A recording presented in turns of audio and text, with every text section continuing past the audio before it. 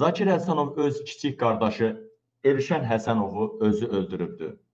Qardaşı Elşən Həsənovla Zakir Həsənov arasında pul davası olubdu. Belə ki, Elşən, Həsənovun arvadı Nailə Həsənova Elşəni məhkəməyə verərək küllü miqdarda pul tələb etmişdir. Yəni Zakir Həsənovun qardaşının arvadı e, Zakir Həsənovun qardaşını məhkəməyə verərək Nailə e, Həsənov məhkəməyə küllü miqdarda e, ərindən, yəni Zakirin qardaşından pul tələb etmişdi.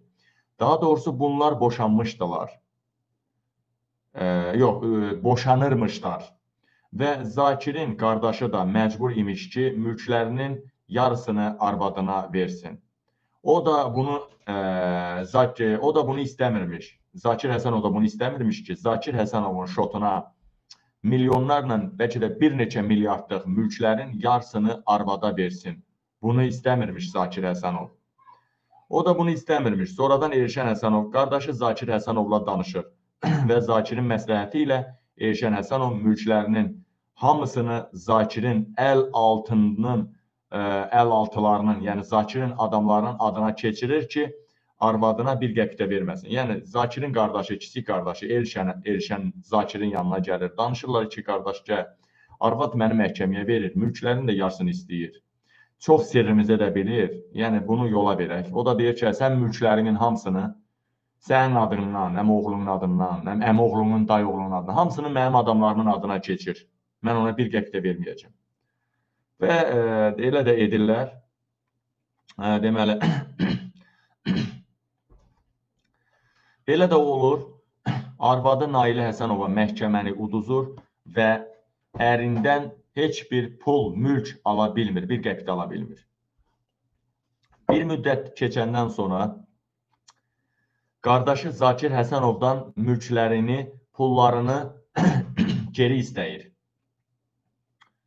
Bir müddət keçəndən sonra Zakir Həsənovun qardaşı Elşən Həsənov Zakirdən mülklərini, pullarını istəyir.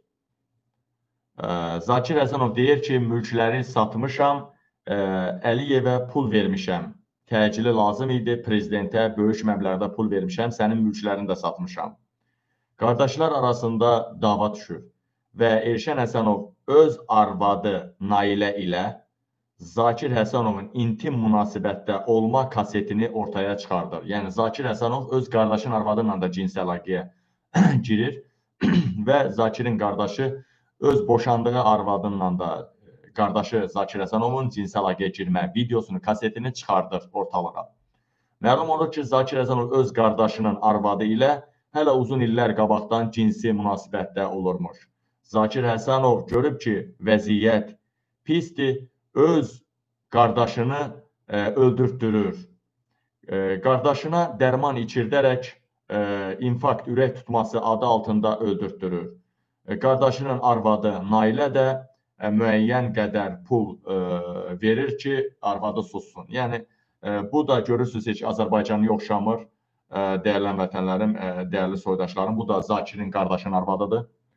Bu da görürsüz ki, heç Azərbaycanı oxşamır. Mən deyərdim ki, Zakirin arvadı birisi də erməni idi. Bu da bizim millətdən olmadığı mən seçilir. bu da bizim millətdən olduğu hiss edilmir dəyərli vətənlərim dəyərli soydaşlarım, e, mən əminəm ki, elə Zakirin necə birinci arvadı ermənidir. Çox güman ki, qardaşın da arvadı erməni olmasa da başqa millətdəndir.